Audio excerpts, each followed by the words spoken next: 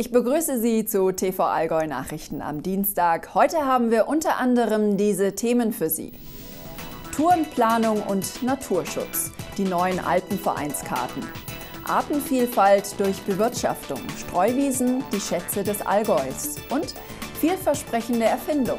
Firma aus Friedrichshafen beheizt Häuser mit der Kraft von Eis. Tourismus ist zu einer modernen Völkerwanderung geworden. Im Sommer marschieren Millionen von Menschen im Allgäu die Berge rauf und runter. Und obwohl die digitale Technik mittlerweile einige Möglichkeiten zur Orientierung anbietet, vertrauen viele immer noch auf das traditionelle Kartenmaterial. Eine Erweiterung davon hat jetzt der Deutsche Alpenverein herausgebracht. Martina Herz, Thomas Kehrer und Nicole Knill schauten sich am Tegelberg die Orientierungshilfe an. Noch ein letzter Blick auf die Karte und los geht's. Wandern ist mittlerweile zu einem modernen Volkssport geworden. Und damit der Ausflug nicht zur Strapaze wird, ist die Orientierung das A und O. Der DAV und das Landesamt für Vermessung und Geoinformation arbeiten deshalb momentan daran, die bayerischen Alpen neu zu topografieren. 17 der insgesamt 22 Karten sind bereits gedruckt. Heute kam die erste Allgäuer Karte dazu. Und man mag es kaum glauben, aber der direkte Nachbar Österreich war Vorbild für das Projekt. Die Initialzündung haben eigentlich die Mitglieder gegeben. Die wollten, dass die Alpenvereinskarten, die es in Österreich gibt, auch in Bayern gibt. Und das war der Startschuss. Und wir haben ja gehört, 2007 hat das Ganze begonnen. Bis das dann diese PPP-Partnerschaft äh, äh, zum Tragen gekommen ist, hat es natürlich ein bisschen gedauert. Aber jetzt sind wir glücklich, dass wir es haben. Circa ein halbes Jahr dauert es, bis eine der Karten fertiggestellt ist. Und die Nachfrage ist groß, denn trotz moderner Hilfsmittel wie Navigationsgeräte liefern die Karten einen Überblick, der in dieser Größenordnung oft nur schwer zu erreichen ist. Hinzu kommt, dass nicht nur Wanderwege oder Skirouten angezeigt werden, auch der Natur- und Wildschutz wird durch die Karten unterstützt. Der Naturschutz wird durch die Karten dadurch unterstützt, dass wir dem Nutzer überhaupt kenntlich machen, wo entsprechende Sperrbereiche sind. Und daraus ergibt sich der Mehrwert. Das ist also ein indirekter. Der Wanderer hat die Karte und weiß, jawohl, hier befindet sich mein Wanderweg, hier befindet sich von mir aus auch äh, für äh, das Skiwandern der entsprechende Route. Aber er erkennt natürlich auch, bitteschön, hier darf ich nicht rein, weil eben hier äh, entsprechende bedrohte Tierarten oder ich weiß nicht, was gerade ist, der hohe Anspruch an den Nutzwert der Karten erfordert einiges an Informationen und die müssen erst einmal gesammelt werden. In Zeiten von Google Street View ein Thema, das durchaus für Kontroversen sorgen kann. Denn auch das Landesvermessungsamt überfliegt Grundstücke und erhält so genaue Einsichten. Für den Finanzstaatssekretär Josef Pschira ist dieses Vorgehen aber unumgänglich.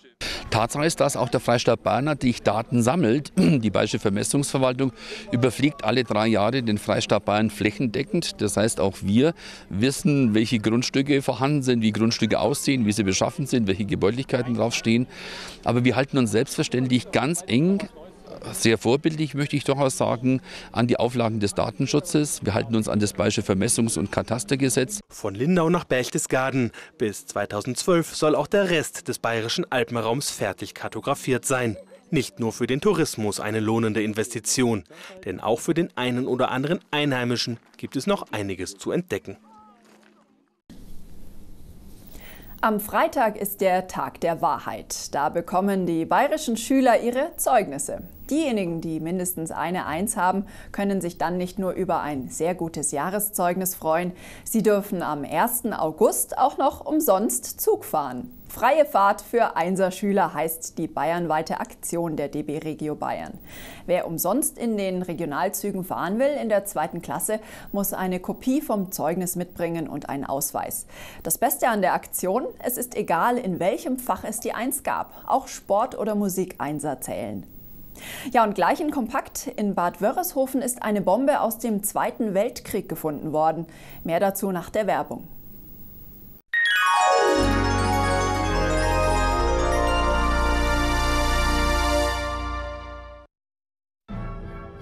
Seine Majestät Ludwig II., König von Bayern. Ein neuer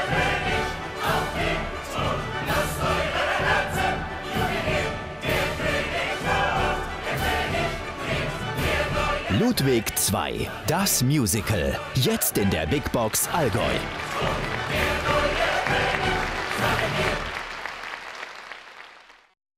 Grenzenlos. Mit dem Fluss reisen. Städte und Kultur entlang der Donau entdecken. Oder auf dem Rad eindrucksvolle Orte erleben. Mehr dazu finden Sie auf www.urlaub-grenzenlos.eu. Entlang der Donau, von Regensburg bis Linz. Wir freuen uns auf Sie. Autohaus Brosch. Ihr Mazda-Partner seit 1973. EU-Neuwagen aller Marken. Auto Crew Werkstatt für alle Fabrikate. Immer erst zu Brosch. Ihr zuverlässiges Familienunternehmen in Kempten-Durach.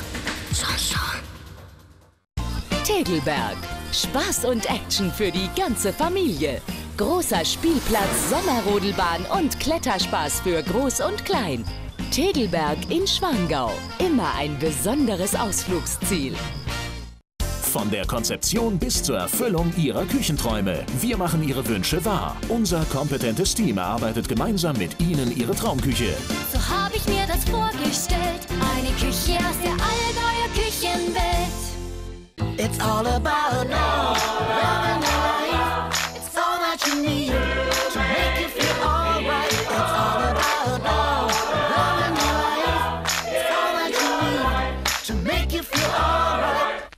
Sie suchen einen Makler?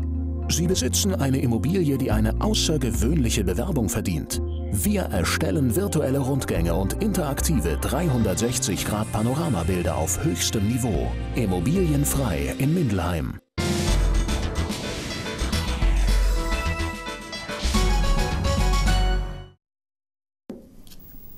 Kompakt am 26. Juli. In Bad Wörishofen ist gestern eine Bombe aus dem Zweiten Weltkrieg gefunden worden. Ein Baggerfahrer hatte das Gerät entdeckt, als er Aushubarbeiten auf einer privaten Baustelle in der Gartenstadt vornahm. Die Polizei sperrte die Fundstelle umgehend ab und verständigte ein Sprengkommando. Als das aus Ingolstadt eintraf, konnte Entwarnung gegeben werden. Die 70 Kilo schwere Bombe verfügte nur über einen geringen Sprengsatz und war offensichtlich zu Übungszwecken abgeworfen worden. Eine Evakuierung der Bevölkerung war deshalb nicht nötig. Die Bombe konnte ohne Zwischenfälle entschärft werden. Das Ostallgäu will bis 2020 50 Prozent seiner Energie aus regenerativen Quellen beziehen. Um dieses Ziel zu erreichen, hat jetzt eine Ideenwerkstatt für den Klimaschutz seine Arbeit aufgenommen. Dieser gehören neben politischen Entscheidungsträgern auch Vertreter verschiedener Gruppierungen und andere Fachleute an. Sie sollen konkrete Vorschläge für den Klimaschutz entwickeln. Auch im Unterallgäu wird kräftig an einem Klimakonzept gearbeitet. Dort wird derzeit eine Energie- und CO2-Bilanz erstellt, die aufzeigen soll, wie viel Energie jeder Einwohner verbraucht und welche Energiequellen dafür in Anspruch genommen werden. Ausbau ja, Verlängerung der Flugzeiten nein. So lautet das Votum der Stadt Memmingen zu den Plänen des Allgäu Airports. Der Stadtrat war im Rahmen des Planfeststellungsverfahrens zu einer Stellungnahme aufgefordert worden. In dieser formuliert sie gegen die Ausbaupläne des Flughafens keine Einwände. Eine Ausweitung der Flugzeiten kommt für die Räte aber nicht in Frage. Wie berichtet, will der Allgäu Airport unter anderem seine Start- und Landebahn verbreitern. Außerdem soll, geht es nach den Flughafenbetreibern, auch bis 23 Uhr geflogen werden können. In Ausnahmen auch bis 23.30 Uhr. Das letzte Wort hat am Ende das Luftamt Süd. Sorge bei vielen Eltern im nördlichen Oberallgäu. Ein bisher unbekannter Mann soll dort Grundschüler aus seinem Wagen heraus angesprochen haben, ob sie mitfahren wollen. Kinder hätten unabhängig voneinander ähnliche Erlebnisse geschildert, heißt es. Nach Schilderung angesprochener Kinder sei der unbekannte Mann zwischen 30 und 50 Jahre alt und fahre ein blaues Auto, vermutlich mit Kemptner Kennzeichen. Die Polizei rät zu erhöhter Wachsamkeit. Wegen gewerbsmäßigen Betrugs ist jetzt ein 58-jähriger Ostallgäuer zu eineinhalb Jahren Haft verurteilt worden. Der Mann hatte einem Interessenten aus Trier Edelsteine im vermeintlichen Wert von 44.000 Euro als Geldanlage angeboten. Tatsächlich waren die Diamanten aber nur etwa 5.000 Euro wert. Am Donnerstag beginnt wieder der Oberstdorfer Musiksommer. Letztes Jahr ist das Musikfestival volljährig geworden und darum geht das Thema dieses Jahr einen Schritt weiter. Die Volljährigkeit zeigt sich darin, dass wir mit dem Festival in diesem Jahr auf Länderreise gehen werden, in Form unserer Länderspiele, musikalische Begegnungen aus der Region, aus verschiedenen europäischen Ländern, aber auch aus anderen Kontinenten musikalisch bereisen werden. Und die Idee ist es, hier so einen musikalischen Wettstreit auch äh, durchzuführen. Und bei dem wird es nur einen Gewinner geben, nämlich das Publikum. Auch die Meisterkurse sind alle ausgebucht und es werden bis zu 180 Kursteilnehmer aus über 20 Ländern erwartet. Bis zum 18. August laden viele Konzerte die Besucher ein. Alle Termine finden Sie im Internet unter www.oberstdorfer-musiksommer.de. Und jetzt noch die Wetteraussichten für die kommenden Tage. Top-Marken zu Fabrikverkaufspreisen im Allgäu Outlet in Sonthofen. Viele Artikel bis zu 70% reduziert. Outlet-Shopping für die ganze Familie und jeden Geldbeutel.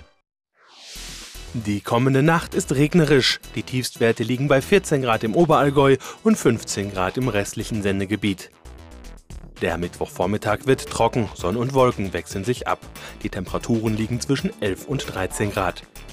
Am Nachmittag treten häufiger Schauer und Gewitter auf. Das Thermometer klettert auf bis zu 20 Grad. Der Donnerstag wird regnerisch, lokal lässt sich vereinzelt die Sonne blicken. Die Temperaturen liegen zwischen 18 und 20 Grad. Am Freitag wird es wechselhaft, bei Schauern und Gewittern erreicht das Quecksilber bis zu 21 Grad. Auch das Wochenende beginnt wechselhaft, die Temperaturen liegen bei 20 Grad am Bodensee und 18 Grad im restlichen Sendegebiet. Jeden Monat bieten sie einen anderen Anblick, die Streuwiesen im Allgäu. Von Landwirten werden sie gepflegt, um das so bei Touristen beliebte Landschaftsbild zu erhalten. Und obwohl die Streuwiesen nährstoffarm und als Futter eher ungeeignet sind, sind sie doch wichtig als Einstreu für die Tiere und als Kulturgut für die Menschen. In dem heutigen Teil unserer Streuwiesenreihe zeigen meine Kollegen Evelyn Prieb und Jonas Strobel diesmal nicht nur die aktuellen Blütenstände in den Wiesen, sondern auch, warum Landwirte Streuwiesen überhaupt pflegen.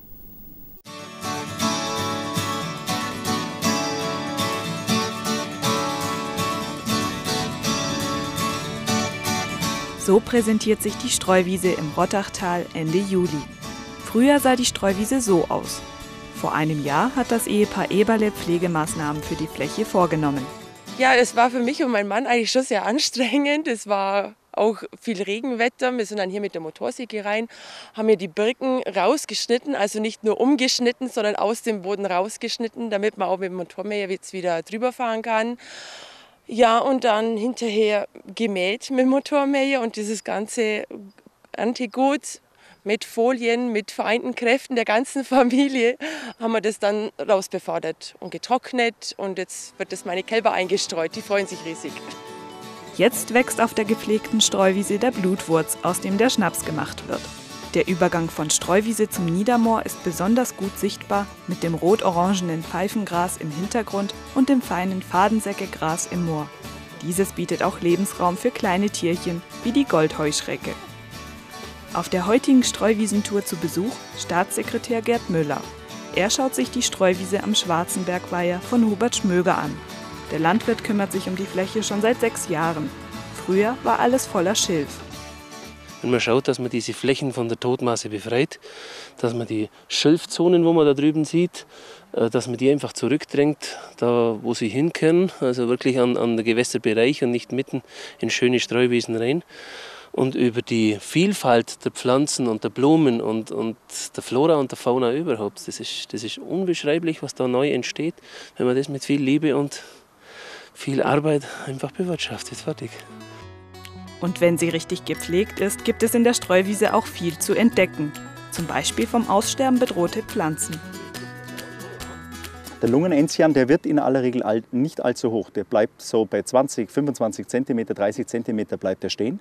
Er hat im Gegensatz zum Schwalbenwurzenzian sehr, sehr schmale Blätter, aber ebenso prachtvolle blaue Blüten. Und auf diesem Lungenenzian lebt der Lungenenzian-Ameisenbläuling. Dieser Bläuling nutzt nur zwei Pflanzenarten, nämlich den Lungenenzian und den Schwalbenwurzenzian Und nur wenn diese zwei Enzianarten hier in diesen Streuwiesen vorkommen und vor allen Dingen, wenn die hier in gemähten Zuständen vorkommen, dann kann sich eine spezielle Ameise hier einfinden in diesen Streuwiesen, die diesen Falter beherbergt. Hier auf diese Lungenenziane legt er die Eier.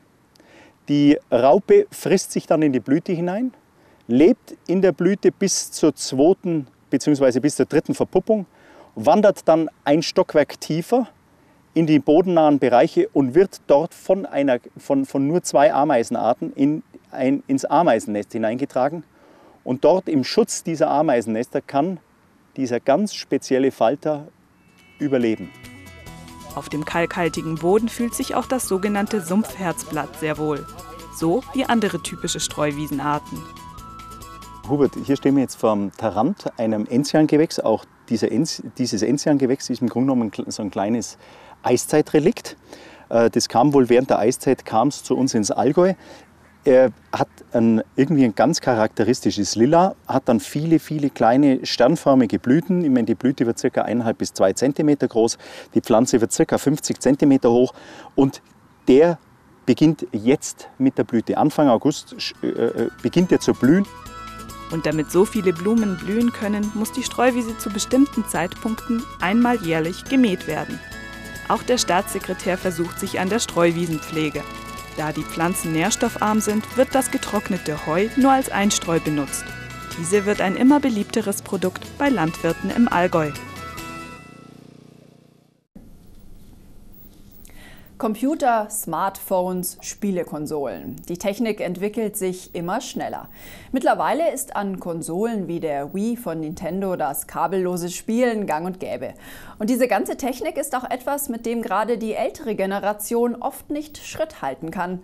Von wegen sagen da die Bewohner der Seniorenresidenz in Kempten.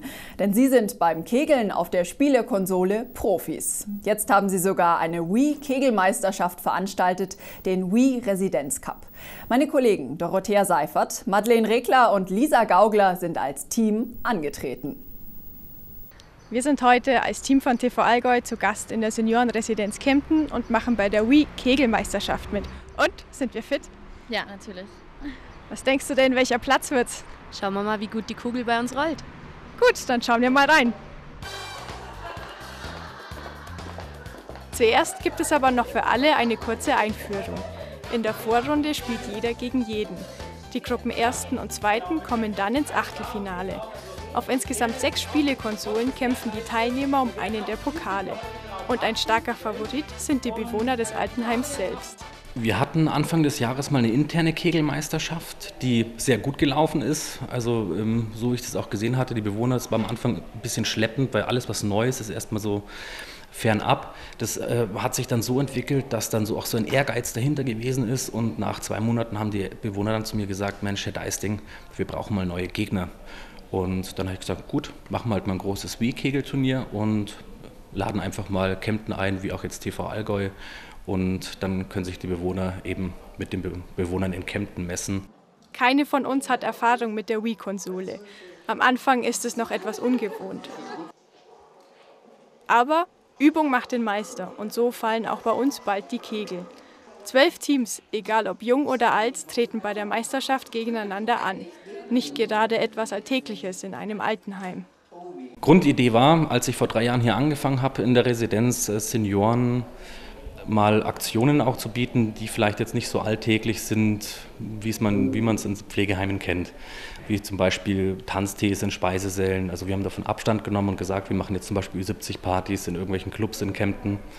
Und da war eben auch der Gedanke, dass wir sagen, wir möchten was Sportliches machen und was hier eben in Kempten noch nicht stattgefunden hat und was einfach ja, im Laufe der Zeit einfach eine wahnsinnige Resonanz entwickelt hat, dass eben auch Bewohner, die nicht mehr so mobil sind, trotzdem daran teilhaben können. Und so ist dieser Gedanke eben mit dieser Wii-Konsole entstanden. Das Turnier für alle ein Riesenspaß. Und mit der Zeit packt einen dann doch der Ehrgeiz, endlich einen Strike, also alle zehn Kegel, zu werfen. Die Vorrunde haben wir leider nicht überstanden, aber wie fandest du es denn? Ja, also es war echt lustig, der Tag. Und äh, ich bin jetzt gerade überlegen, ob ich mir nicht auch eine anschaffen soll. Und wie war es für dich? Ja, ich fand es rundum super und kann mir durchaus vorstellen, beim nächsten Mal wieder mitzumachen. Ja, dem kann ich mich nur anschließen. Und Christina, vielleicht gibst beim nächsten Mal ja du dein Bestes. Ja, aber natürlich nur mit eurer Unterstützung. Fesch haben sie ausgeschaut. In Brasilien erfolgreich war aber auf jeden Fall Sina Kostorz vom Allgäu-Team Sonthofen. Die 20-jährige Bundeswehrlerin gewann mit der deutschen Volleyballmannschaft bei den fünften Military World Games in Rio de Janeiro Bronze. Die Angreiferin Kostorz holte beim Spiel um Platz 3 gegen Italien 21 Punkte und war damit im entscheidenden Match beste Spielerin. Das Endergebnis der Partie lautete 3 zu 1 für Deutschland. Sina Kostorz ist eine der verbliebenen Erstligaspielerinnen des Allgäu-Team Sonthofen. Sie gilt als Leistungsträgerin für die neue Saison in der zweiten Volleyball-Bundesliga. Auftakt ist am 17. September. Mit Eis Häuser heizen. Sie glauben nicht, dass das geht? Bleiben Sie dran, dann erklären wir Ihnen, wie das funktionieren soll. Thank you.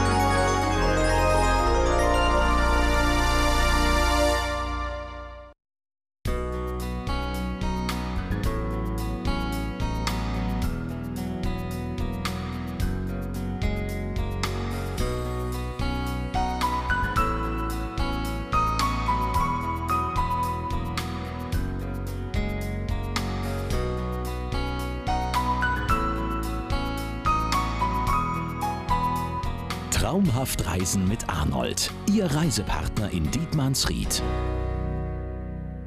Jetzt neu in Kempten Ursulas Ried. BayWa Baustoffe. Wir beraten Sie bei Neubau und Modernisierung, Innenausbau und Gartengestaltung. Vom Keller bis zum Dach, alles aus einer Hand. Baustoffe und Bauwerkzeuge namhafter Hersteller in Profiqualität. Wir liefern direkt an Ihre Baustelle. Mit Kompetenz und Topqualität immer gut beraten. Bauen Sie auf Qualität. BayWa Baustoffe. Zehnmal im Allgäu. Über 60 Jahre Erfahrung. Beratung mit Herz und Verstand. Willkommen bei Neuss. Fachkompetente Beratung im Shop sowie meisterhafte Qualität bei Reparatur und Service. Die Ferne ganz nah. Mit Wohnwagen und Reisemobilen von Ihrem Kompetenzzentrum Neuss in Immenstadt Tanners.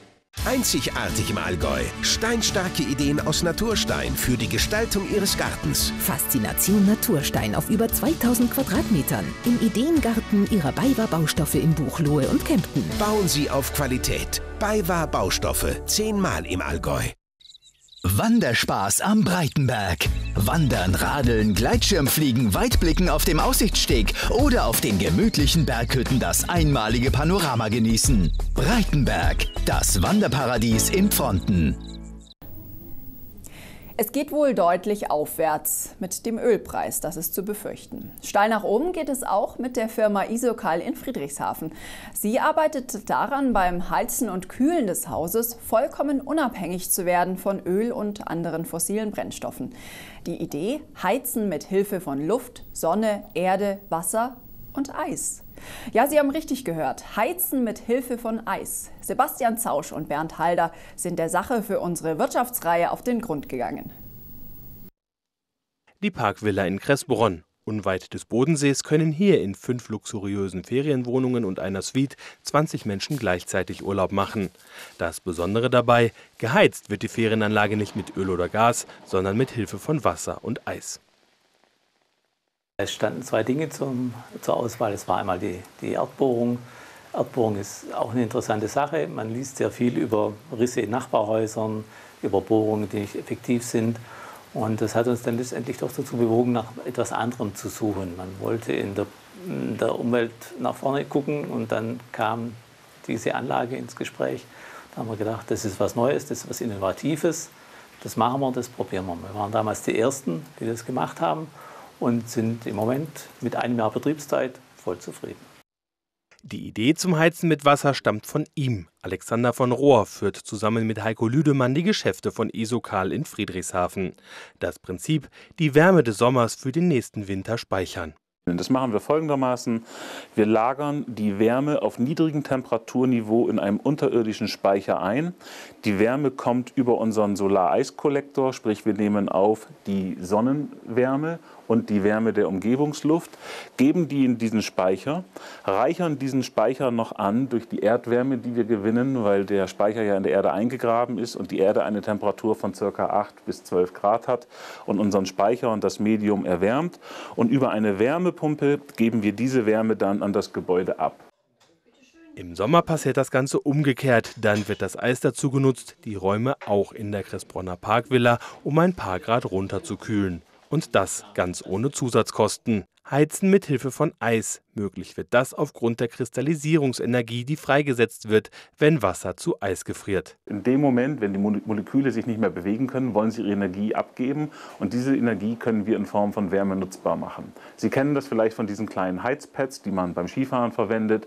Nur wir machen das halt ein bisschen größer. Wir bauen Speicher zwischen 10.000 Liter und mehreren Millionen Litern. Bei der Parkvilla befindet sich unter der Garage, in der die Heizungsanlage untergebracht ist, noch eine Garage. Sie dient als Wassertank. Dass dieser nicht berstet, wenn das Wasser zu Eis wird, auch dafür ist eine Erfindung von Isokal verantwortlich. Wenn Wasser gefriert, wenn Wasser also zu Eis wird, dehnt es sich aus und wir hätten es mit dem Problem der Sprengwirkung zu tun. Wasser gefriert normalerweise von außen nach innen und von oben nach unten. Also Sie kennen die Sprengwirkung, wenn Sie mal eine Flasche Wasser ins Gefrierfach legen und nicht aufpassen, dann zerplatzt die irgendwann. Wir machen das hier anders. Wir gefrieren von unten nach oben und von innen nach außen. Das machen wir über unsere Wärmetauscheranordnungen, die wir uns auch haben patentieren lassen. Sprich, zuerst gefrieren wir am tiefsten Punkt in der Mitte und dehnen uns dann langsam nach außen oder arbeiten uns langsam mit unserem Gefrieren nach außen vor. Die Volumenänderung, also sprich das Wasser, was sich nun ausdehnen will, schieben wir nach oben in den Speicher. Doch nicht nur das Eis sorgt beim Solareissystem der Firma Isokal für Wärme. Das Unternehmen setzt zusätzlich auch auf die Kraft der Sonne. Und wenn die mal nicht scheint, dann nehmen die Kollektoren auch die Umgebungstemperatur auf und speichern die Wärme. Wir haben zwei Funktionen in diesem Kollektor. Einmal die sichtbare Oberfläche, wo die Sonne drauf scheint. Hier nutzen wir eben die Wärme der Sonne. Aber wir haben ja mehrere Ebenen, also auch Ebenen, die von der Sonne nicht direkt erreicht werden. Die vergrößern aber die Oberfläche unseres Kollektors und wir nehmen hier auch die Wärme aus der Umgebungsluft auf. Das ist ganz besonders dann interessant, wenn, wie gesagt, die Sonne nicht scheint, aber auch nachts können wir hier Wärme in unseren Speicher abführen. Geht es nach den Verantwortlichen bei Isokal, dann befinden sich die Kollektoren der Zukunft nicht nur auf Dächern, sondern möglicherweise auch in Hausfassaden. Der Platz auf dem Dach wäre dann frei für Photovoltaikanlagen. Die könnten wiederum mit Hilfe des Solareissystems auf ihre optimale Betriebstemperatur gekühlt werden. Ziel ist ein komplett von fossilen Brennstoffen unabhängiges Haus, das sich selbst mit Energie versorgen kann. Und die Visionen bei Isokal gehen noch weiter in die Zukunft, bis zur Fußballweltmeisterschaft 2022. Also unsere Vision ist in der Tat, äh, die Fußballstadien in Katar zu klimatisieren. Da ist noch ein bisschen Zeit, aber dieses System wäre dafür perfekt geeignet, weil wir in diesen Ländern, wo wir sehr viel Sonne haben, unsere Wärmepumpe betreiben können mit der Kraft der Sonne und aus der Kraft der Sonne eben Eis bilden können, um die Fußballstadien zu klimatisieren. Das klingt utopisch, wir machen es aber jeden Tag. So wie bei der Parkvilla in Kressbronn. Klaus Schorb hat seine Heizungsanlage jetzt ungefähr ein Jahr. Der Blick auf den Stromzähler, er macht ihm jetzt wieder mehr Spaß. In fünf bis sieben Jahren hat sich die Anlage amortisiert, schätzt er. Ja, unser eins kann ich nur gucken, wie der Energieverbrauch ist. Darum gucke ich immer auf meinen Zählerstand und wenn ich da sehe, ein Jahr 3900 Kilowattstunden für die Heizung, das ist ein sehr, sehr interessanter Preis, dann der da rauskommt. Die Wärme aus dem Eis, sicherlich eine Idee mit guten Zukunftschancen.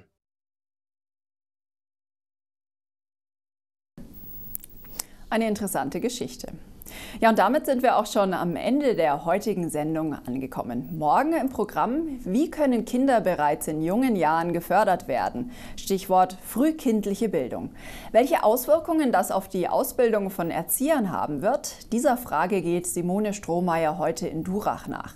Die Frauen- und entwicklungspolitische Sprecherin der SPD im Bayerischen Landtag ist auch Mitglied im Ausschuss für Bildung, Jugend und Sport und greift das Thema Bildung früh begonnen ist halb gewonnen auf. Mehr dazu morgen bei uns. Ich würde mich freuen, wenn Sie auch dann wieder einschalten. Tschüss und auf Wiedersehen.